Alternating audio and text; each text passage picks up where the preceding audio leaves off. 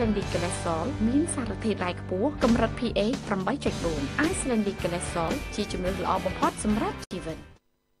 បាទសូមទស្សនិកជនតាមដានកិច្ចសម្ភាសដែលសម្របសម្រួលដោយលោកកិនច័ន្ទវុធីជាមួយនឹងលោកពៅសុកអ្នកនិពន្ធនិងជាសមាជិកសមាគមអ្នកនិពន្ធខ្មែរលើការសរសេរសៀវភៅមួយដែលមានចំណងជើងថាវិរៈជន071ដែលមានជាងអឺ600ទំព័រនិយាយពីការតស៊ូរបស់វីរៈជនខ្មែរមួយរូបក្នុងសង្គ្រាមរំដោះប្រទេសជាតិសូមទស្សនាដូចតទៅ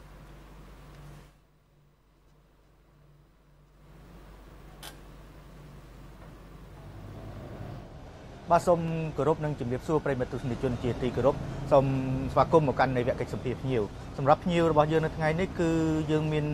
វត្តមានរបស់លោកពៅសុកដែលជាអ្នកនិពន្ធមួយរូបក្នុងប្រទេសកម្ពុជាផងដែរហើយសម្រាប់ប្រធានបទរបស់យើងនៅថ្ងៃនេះគឺយើងចង់ផ្ដោតទៅលើការសរសេរសភៅមួយដែលក្នុងនោះមានចំណងជើងថាវរៈបរោះ071ដែលជាបន្តសូមទៅជួបលោកពៅសុកបាទបាទជំរាបសួរលោកបាទបាទ បាទមុននឹងចូលទៅដល់ប្រធានបទយើងតាក់ទងនឹងការសរសេរសភៅវីរៈបរោះ071ខ្ញុំចង់ឲ្យលោកលើកឡើងតាក់ទងថាតើលោកចាប់អាជីពជាអ្នកនិពន្ធនេះក្នុងការសរសេរសភៅហ្នឹងតាំងពីឆ្នាំណាមកដល់ហើយមកដល់ពេលនេះស្នាដៃរបស់លោកមានប្រហែលជាប្រហែលក្បាលហើយសភៅដែលសេដល់លោកបាទបាទបើនិយាយពីអាជីពអ្នកនិពន្ធខ្ញុំចាប់ផ្ដើមពីឆ្នាំ2003មកហើយនឹងសម្រាប់ការបោះពុំប្រហែលជាប្រហែលជាជិត10ចំណងជើងទេប៉ុន្តែនៅក្នុងហ្នឹងយើងបានផលិត រឿងជាវីដេអូអប់រំ sport អប់រំអីច្រើនបនយោកា documentary អីចឹងបាទបាទឥឡូវយើងចូលទៅប្រធានបទយើងតែម្ដងដោយខ្ញុំឃើញថាការនិពន្ធរបស់លោកមួយមានសភៅមួយគឺដាក់ចំណងជើងថាវរៈបរោះ0.1ចង់ដឹងថាតើអត្ថន័យនៃការសរសេរសភៅនេះមានដោតលើសំខាន់លើអ្វីហើយសភៅនេះមានចំនួនប្រមាណពណ៌ដែរលោកបាទអឺតកតងនឹងរឿងវរៈបរោះ0.1នេះយើងសរសេរអឺតកតងនឹងប្រវត្តិសាស្ត្រ បាទនេះប្រវត្តិសាស្ត្រខ្មែរយើងពីសម័យ75ដល់79ហើយសភៅនេះអឺកម្រាស់ជាង400ទំព័រណាបាទហើយការចំណាយពីសរសេរបាទខ្ញុំគិតមិនច្រឡំនេះប្រហែលជា7ខែបាទ7ខែបានចប់បាទក្នុងនោះយើងបានចុះទៅស្រាវជ្រាវទៅដល់ទីតាំងអឺពិតប្រកបមួយចំនួននៅខេត្តកំពង់ចាមហើយនិងខេត្តកញ្ចេះបាទ ខ្ញុំឃើញរូបដែលលោកដាក់តួអង្គក្នុងនោះដូចជាមានរូបសម្ដេចអគ្គមហាសេនាបតីតេជោហ៊ុនសែនក៏ដូចជាសម្ដេចកតេបណ្ឌិតមូលហេតុអីបានលោកជ្រើសរើសតួអង្គពីរនេះមកដាក់ក្នុងសំណងជើងសភៅរបស់លោកបាទដោយសារដំបូងឡើយយើងយើងដំបូងបំផុតនៃការចាប់ផ្ដើមសរសេរសភៅនេះយើងបានរៀបចំផលិត documentary ខ្លីទេកាលនោះហើយឆ្នាំ2012ប៉ុន្តែដោយសារការនោះមានឧបសគ្គទៅដោយសារការយើង research ឬក៏ទូទាត់ទៅការ ចំណាយថវិកាទៅលើការផលិត documentary ហ្នឹងវាអស់ច្រើនអញ្ចឹងក៏បែរមកសេចងក្រងជាសភៅវិញអញ្ចឹងចុងក្រងជាសភៅដំបូងហ្នឹងមានស្ដើងជាងហ្នឹងគឺខ្ញុំសរសេរចំណុចជើងបេះដូងវិរៈជនអញ្ចឹងណាហ្នឹងហើយបេះដូងវិរៈជនប៉ុន្តែក្រោយមកទៅដោយសារមិត្តភ័ក្តិអីមួយចំនួនគាត់ចាប់អារម្មណ៍គាត់ក៏តាក់ទងឲ្យសរសេរឡើងវិញម្ដងទៀតហើយក្នុងនោះយើងបានទទួលឯកសារមួយចំនួនពីខាង ទីប្រឹក្សារបស់សម្ដេចឲ្យយើងគាត់ផ្ដល់ឯកសារមកបែរជា2000ទំព័រហើយយើងនឹងឯកសាររបស់ខ្ញុំស្រាវជ្រាវបន្ថែមទៀតប្រហែលជាជិត30ចំណងជើងផ្សេងផ្សេងទៀតបានយើងទៅសេរឿងនឹងចេញហើយទៅសេតួអង្គរបស់សម្ដេចទាំងពីរដោយសារយើងមើលឃើញថាអឺដូចជាយើងបាត់បង់ប្រវត្តិសាស្ត្រយើងចង់និយាយអញ្ចឹងណាអឺប៉ុន្តែបើសិនជា អ្នកមួយចំនួនគាត់មើលគាត់គិតថាជារឿងនយោបាយប៉ុន្តែនៅក្នុងអត្ថបទនៃសភៅហ្នឹងគឺយើងតកតងនឹងប្រវត្តិសាស្ត្រហេតុអីបានជាមនុស្សដែលជួយរំដោះប្រទេសយើងបែរជានាំគ្នាបំភ្លេចចង់និយាយអញ្ចឹងព្រោះការសម័យខ្មែរក្រហមចំពោះមនុស្សដែលគាត់មានវ័យចាប់ពី40ឆ្នាំឡើងទៅអ្នកណាក៏ដឹងដែរថារបបនឹងយ៉ាងម៉េចហើយមនុស្សនៅពេលសម័យនោះបនម្នាក់ម្នាក់បនថាឲ្យតែមានមនុស្សមកជួយសង្គ្រោះជីវិតដឹងនឹងដឹងគុណគេថ្លៃម្ដងគុណគេអញ្ចឹងហើយប៉ុន្តែ យើងមើលទៅវាឯកសារដែលតកតងនឹងវិរៈជនយើងសម័យនោះអត់មានហ្នឹងហើយហ្នឹងហើយអញ្ចឹងបានខ្ញុំចាប់ដើមទៅសេសភៅនឹងឡើងបាទក្នុងចំនួនជាង400ទំព័រនេះតើលោកសរសេរទាំងតកតងយ៉ាងម៉េចតកតងនឹងការតស៊ូរបស់សម្ដេចក្នុងការធ្វើសង្គ្រាមនឹងតែម្ដងឬក៏ជាជីវិតទូទៅរបស់តួអង្គដែលយកសម្ដេចជាគោលអឺនៅក្នុងសភៅនេះយើងនិយាយពីជីវិតរបស់សម្ដេចទាំងពីរ និយាយតែជីវិតរបស់សម្ដេចទាំងពីរទេទី1ចាប់ពីសម្ដេចចាប់ដើមរៀបរៀបអាពាហ៍ពិពាហ៍ក្នុងសម័យខ្មែរក្រហមហើយនឹងមុននឹងបន្តិចមុនមុនរៀបអាពាហ៍ពិពាហ៍ដូចត្រឹមគាត់រងរបួសនៅសមរភូមិទលេបិទហ្នឹងបានមកដល់រៀបអាពាហ៍ពិពាហ៍ហើយនឹងមកដល់ទីបញ្ចប់ឆ្នាំ80នៅពេលដែលជួបគ្នាវិញនៅឆ្នាំ80ហ្នឹងហើយយើងផ្ដោតតែតួអង្គពីរហ្នឹងអញ្ចឹងតួអង្គដទៃទៀតយើងអត់បានផ្ដោតទេដោយសារយើងអត់មានឯកសារគ្រប់គ្រាន់អញ្ចឹងណា មិនមែនថាយើងរើសអើងវរៈជនដទៃទៀតយើងអត់ទៅសេទេប៉ុន្តែដោយសារយើងអត់មានឯកសារអញ្ចឹងណាបាទបានន័យថាសភៅនេះគឺយើងចង់ផ្ដោតលើវីរៈជនមួយរូបមួយរូបដែលគាត់បានសាងស្នាដៃដើម្បីជាតិក្នុងពេលរបស់ជាពលរដ្ឋពីរបបសង្គ្រាមបាទក្នុងចំណុចសំខាន់លោកមានផ្ដោតចំណុចសំខាន់ថាចំណុចណាដែលដែលជាចំណុចសំខាន់ក្នុងសភៅរបស់លោកដែលចង់ជាសារទៅទៅអ្នកអានឲ្យឲ្យបានទទួលសារពីពីការសរសេររបស់លោកសារនៅក្នុងសភៅនេះបើយើងមើលទៅ វាវាមានច្រើនទី1យើងនិយាយពីរបបមួយដែលដែលមនុស្សពិបាកទ្រាំរស់នៅបានន័យថាព្រៃផ្សាយខ្លាំងហើយនឹងទី2យើងចង់និយាយថាពីវីរៈបុរសវីរៈជនស្នេហាជាតិដែលគាត់លះបង់ជីវិតអញ្ចឹងដូចសម្ដេចតេជោអញ្ចឹងគាត់បានមុនពេលដែលគាត់ចាក់ចេញទៅវៀតណាមគាត់បានទ្រាំនៅក្នុងប្រទេសហ្នឹងរហូតដល់គេតាមចាប់តាមស្លាប់ហើយបានចុងទីបំផុតបានសម្ដេចគាត់ សម្ដេចចាក់ចេញពីប្រទេសអញ្ចឹងបានថាមិនមែនសុកសុកគាត់រត់ចេញទេទី1គោលដៅរបស់គាត់តាមឯកសារដែលខ្ញុំសិក្សាគឺមិនមែនគាត់ទៅរំដោះប្រទេសដើម្បីធ្វើនាយករដ្ឋមន្ត្រីទេប៉ុន្តែគាត់ចង់រំដោះប្រទេសឲ្យផុតពីរបបឃោឃៅអញ្ចឹងកលៈទេសៈក្រោយពីរំដោះហើយកលៈទេសៈបានរុញឲ្យគាត់ខ្លាយជាអ្នកដឹកនាំបាទហើយជីជីវិតជាអ្នកដឹកនាំរបស់សម្ដេចមានតាំងពីទូចយើងមើលបើសិក្សាទៅតាំងពីឆ្នាំ70ក្រោយរដ្ឋបហារបស់សេនាវងលន់ណុលអញ្ចឹង សម្ដេចចាប់ដើមតចេញរត់ចូលព្រៃទៅតស៊ូចាប់ផ្ដើមដឹកនាំក្រុមតូចតូចតូចហើយបង្ហាត់បង្រៀនពីរបៀបទៅសេអសពីរបៀបអីនឹងតាំងពីសម័យនោះមកបាទ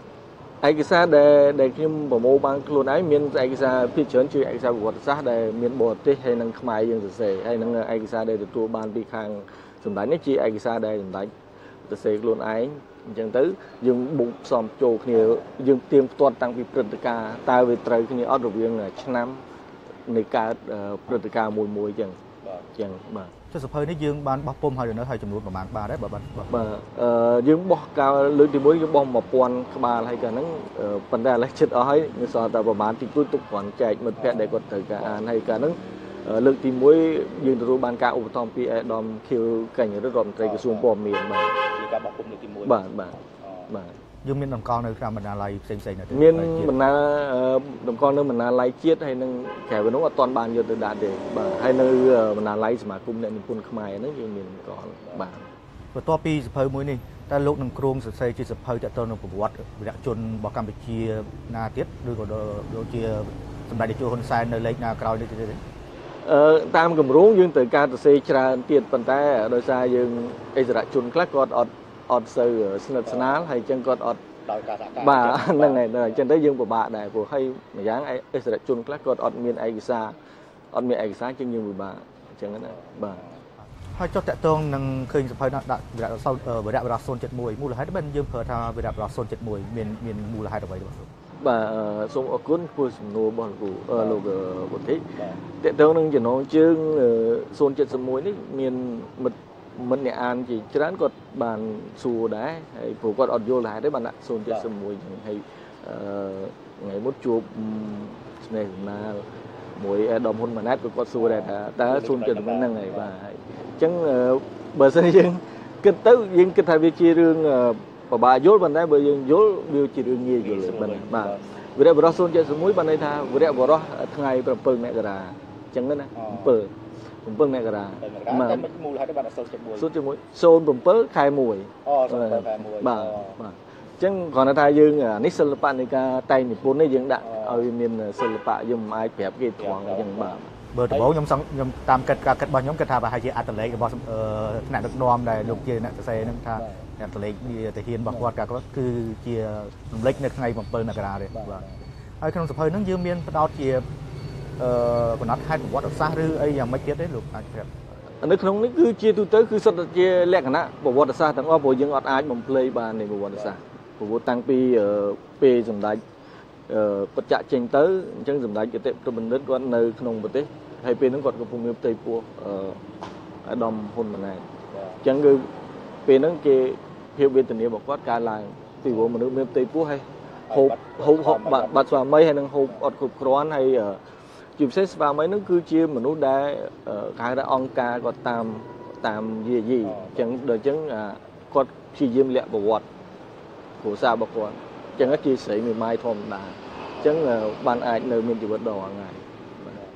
ក៏មានមានកំណត់ហេតុវត្តសាស្ត្រផ្សេងផ្សេងដូចជាតកតងពីធ្នូមាននៅក្នុងនឹងទេអត់ក្នុងនឹងមានតាំងពីការកកើតថ្ងៃពីធ្នូហើយនឹងការចាក់ចេញរបស់សម្ដេចទៅវៀតណាមអីហ្នឹងពេលទៅដល់ព្រំដែនទាហានវៀតណាមមកចាប់ហើយនឹងយកទៅឃុំឃាំងនៅប្រទេសវៀតណាមអីហ្នឹងមាននៅក្នុងនឹងទាំងអស់និយាយទៅយើងនិយាយពីមុនតាំងពី1978រហូតដល់79ព្រឹកនៅកណ្ដាល79បាទ បាទជាចុងក្រោយចង់ឲ្យលោកលើកតកតងការចាប់អារម្មណ៍របស់ការសរសេររបស់លោកតជាចំណាប់អារម្មណ៍ចុងក្រោយបាទជាចំណាប់អារម្មណ៍ខ្ញុំទី1សូមសនំពរទៅមិត្តអ្នកអានសូមប្រកាន់ការអានមិនមែនថាអានតែសភៅនេះឬក៏សភៅនោះទេសភៅណាក៏ដោយគួរតែអានពីព្រោះការអានធ្វើឲ្យយើងមានចំណេះដឹងទូលំទូលាយជាងការមិនអានហើយយើងកុំគិតថាសភៅនេះល្អសភៅនេះអាក្រក់សភៅនេះនយោបាយកាន់ជើងគណៈបកនយោបាយកុំគិតយើងអាន យើងអ្នកអានជាអ្នកវិនិច្ឆ័យខ្លួនឯងអញ្ចឹងអ្វីដែលល្អយើងរើសយកមកអ្វីដែលមិនល្អយើងកុំយកមកដាក់ក្នុងខ្លួនអាហ្នឹងជាចំណាប់អារម្មណ៍របស់ខ្ញុំហើយជាទូទៅមិត្តភ័ក្តិមួយចំនួនទាំងមិត្តចិត្តស្និទ្ធមិត្តមិនចិត្តស្និទ្ធគាត់ឃើញចំណោជើងអញ្ចឹងគាត់តែងតែពេលខ្លះគាត់រីគុណខ្ញុំគាត់ថាហេតុអីបាទខ្ញុំបាទលើកជើងឬទៅកោតសរសើរមនុស្សម្នាក់អីអញ្ចឹងប៉ុន្តែខ្ញុំចង់ជំរាបថា បើយើងមិនសរសើរមនុស្សដែលជួយជាតិយើងទៅសរសើរអ្នកណាឥឡូវនេះបាទបាទបាទឥឡូវឥឡូវយើងសិក្សាទៅពីឆ្នាំ79មកវិញយើងយើងឃើញមនុស្សនិយាយទៅចាប់ពីអាយុ40ទៅសិតតែដឹងរឿងហ្នឹងយើងមើលប្រទេសគេផ្សេងផ្សេងវីរៈបរិបរបស់គេគេមិនដែលបំភ្លេចទេទោះបីជាងអ្នកនោះស្លាប់ទៅប្រហែលតំណគឺនៅតែមានក្រាំងមាសគេចាទុកអញ្ចឹងអញ្ចឹងអញ្ចឹងដូចសម្ដេចដេជោអញ្ចឹងមានសភៅតិចតួចដែលនិយាយពីសម្ដេចបាទ អញ្ចឹងអានេះគ្រាន់តែជាចំណែកមួយនៃប្រវត្តិសាស្ត្រទេហើយយើងអានទៅដឹងថាតើអ្វីដែលយើងទៅសេខុសឬត្រូវអញ្ចឹងណាហើយ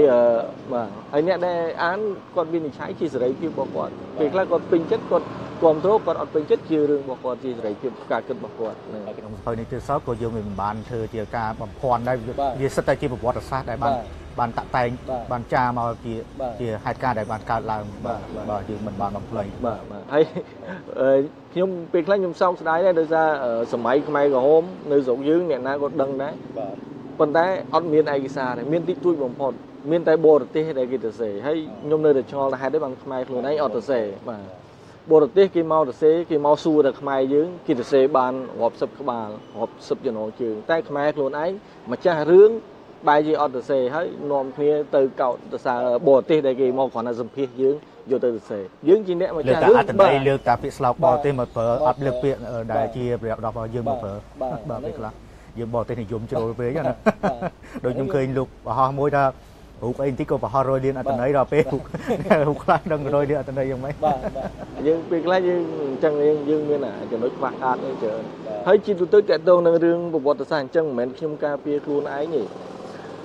ឧទាហរណ៍បើសិនជាបរទេសទៅសេទៅស្ពើអញ្ចឹងដូចប្រវត្តិសម្ដេចនឹងជឿថាមិនខ្វះខាតគេគេទៅសេទៅយើងនាំគ្នាទៅសើបរទេសប៉ុន្តែខ្មែរទៅសេថាំងខ្មែរនឹងកាន់ជើងម្នាក់ម្នាក់លើកជើងចេះចុះហេតុអីបានយើងអត់គ្រប់គ្រងខ្មែរគ្នាឯងយើងខ្វាយសភៅសម្ដេចដូចហ៊ុនសែនបរោះខ្លាំងដែរទៅសេដោយបរទេសគេគឺយើងគ្រប់គ្រងថាបរទេសទៅសេប៉ុន្តែខ្មែរទៅសេយើងថាខ្មែរមកលើកជើងអញ្ចឹងហេតុអីយើងការគិតវិជ្ជាការគិតមានពីរខុសគ្នាទៅវិញហើយមួយទៀតដូចរឿង បើខ្មែរយើងផលិតរឿងខ្មែរក្រហមចាក់តាមទូទួលយើងថាបំរើបកបំរើនយោបាយប៉ុន្តែដល់ពេលអិនជេលីណាគាត់មកផលិតយើងថាឃើញបរទេសមកផលិតល្អសួរថាអាហ្នឹងខ្មែរយើងគិតមិនយើងគិតមិនខ្លួនឯងនេះបាទអាតាមការគិតរបស់លោកដោយសារតែការការគាត់គិតវាជ្រុលមកខាងជ្រុលពេកយីមិនអាចតាមការគិតរបស់ខ្ញុំគិតថាប្រហែលជាមកពីផ្នត់កំណត់គាត់ផ្នត់កំណត់គាត់គាត់ចេះតែឃើញថាខ្មែរយើងតែធ្វើដើម្បីលៀបសការៈហើយអញ្ចឹង ឧរោយើងធ្វើផលិតរឿងខ្មែរក្រហមអីមួយទៅគេថាសង្ស័យចង់បានលិបការៈពីនេះនោះនោះអីចឹងទៅតែដល់ពេលបរទេសគេគិតថាបរទេសมันអាចបំរើទៅខាងណាអីចឹងគេព្រោះអានោះផ្នត់កំណត់ខ្មែរយើងជាទូទៅគិតមកអញ្ចឹងតែការប៉ັດការប៉ັດលទ្ធផលនៃការធ្វើរបស់បរទេសក៏ដូចជាយើងធ្វើមកលទ្ធផលដូចតែគ្នាបាទបាទតែខ្លះយើងទៅសេល្អជាងផងបាទហើយអ្នកខ្លះឪពុកម្ដាយគាត់សុទ្ធតែឆ្លងរបបខ្មែរក្រហមអញ្ចឹងប៉ុន្តែគាត់អត់គិត អត់គិតថាម្ដាយគាត់ធ្លាប់ឈឺចាប់វេទនាអីទេពេលយើងទៅសេទៅគាត់យកគំនិតថ្មីរបស់គាត់មករីគុណយើងអីចឹងអីអាហ្នឹងវាធម្មតានេះជាសេរីភាពនៃការរីគុណរបស់មនុស្សតែគ្រាន់ថាពេលយើងមុនរីគុណយើងស្រាវជ្រាវឲ្យអស់ថាតើរបបនោះវាកើតមានមែនអត់ចឹងណាព្រោះពេលខ្លះយើងបំភ្លេចបំភ្លេចលឿនពេកពិបាកដែរការឈឺចាប់ចឹងដូចចឹងបានពេលខ្លះខ្ញុំនិយាយថា ឆ្នាំពី75មក79បើសិនជាយើងអត់បានរំដោះប្រទេសទេប្រហែលខ្មែរយើងបាត់បាត់បាត់ផែនទីពីពិភពពីផែនទីពិភពលោកហើយព្រោះមនុស្សអស់មិនអស់អស់ស្លាប់ទៅស្លាប់ទៅស្លាប់ទៅព្រោះចាប់ចងតតតគ្នាមិនអញ្ចឹងរាយការតគ្នាចាប់អាយុអស់មនុស្សមានបាទម៉ាងឡូនអញ្ចឹងមានមនុស្សណានៅក្នុងប្រទេស អរគុណលោកពៅសុកចំពោះការផ្ដល់ពេលវេលាជាមួយក្រុមការងាររបស់យើងតកតងនឹងការតែងនិពន្ធក៏ដូចជាតកតងនឹងចំណងជើងវីរៈបរោះ0.1នេះបាទអរគុណលោកបាទអរគុណប្រិមត្តទស្សនិកជនជាទីគោរពនៅពេលនេះកិច្ចសម្ភាររបស់ខ្ញុំជាមួយនឹងលោកពៅសុកដែលជាអ្នកនិពន្ធក៏ដូចជាសមាជិកមួយរូបក្នុងសមាគមអ្នកនិពន្ធខ្មែរក៏បានមកដល់ទីបញ្ចប់នៅពេលនេះខ្ញុំបាទកិនច័ន្ទពុទ្ធិនិងក្រុមការងារក៏សូមអរគុណនិងសូមគោរពលាបាទ